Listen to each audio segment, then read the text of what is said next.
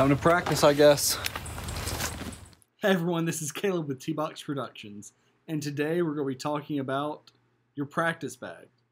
Now, most of the time when we hear practice bag, a lot of people just think, well, I'll take my bag out there and I'll throw what's in my bag a time or two.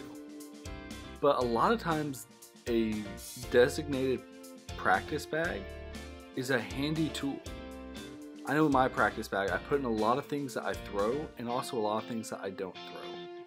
And it allows me to really work on myself as a disc golfer instead of just learning the disc.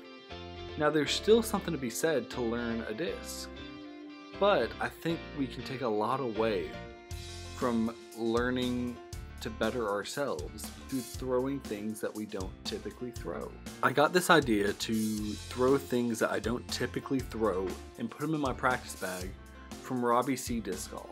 I actually got to meet with him for a clinic a little while ago, and wow, it helped.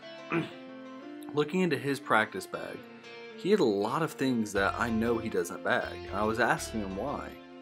He told me, well, these things can really gauge a player. No one's thrown, for example, a hummingbird that he has worked with, and because of that, well, it allows a player to gauge themselves on their form alone not on the disc.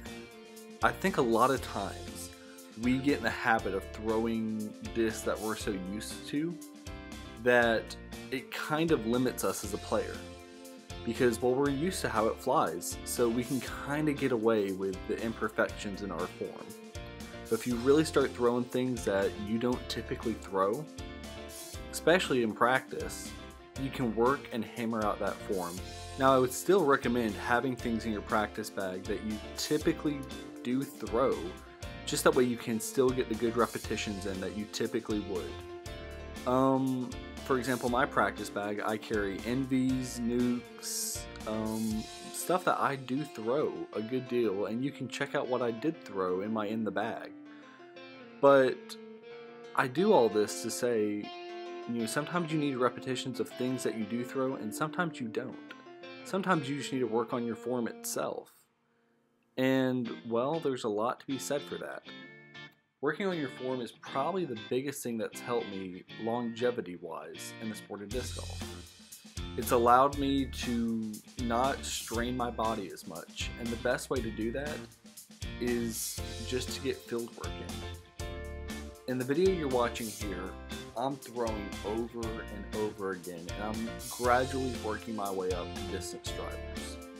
Start off with putters, now I'm going with a fairway driver, do my mid ranges, but I'm doing this to kind of work my body up.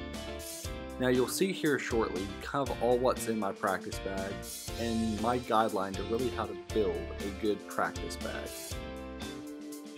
Now when you're making a practice bag, I recommend having a little bit of everything in there. A lot of putters, a little bit of mid ranges, and a couple drivers, I would say. But I would also say put some stuff in there that you do bag.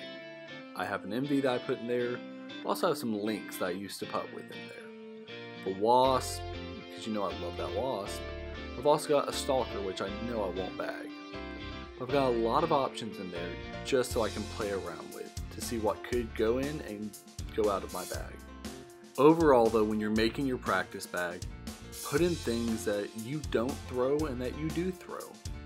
You know, if you don't throw a Discmania, maybe put a couple of their discs in just to try them out. A practice bag, in my opinion, is kind of your trial and error bag. It's trying stuff you want to try before you actually put it in your bag definitively. I think that's the really the key thing in a practice bag though.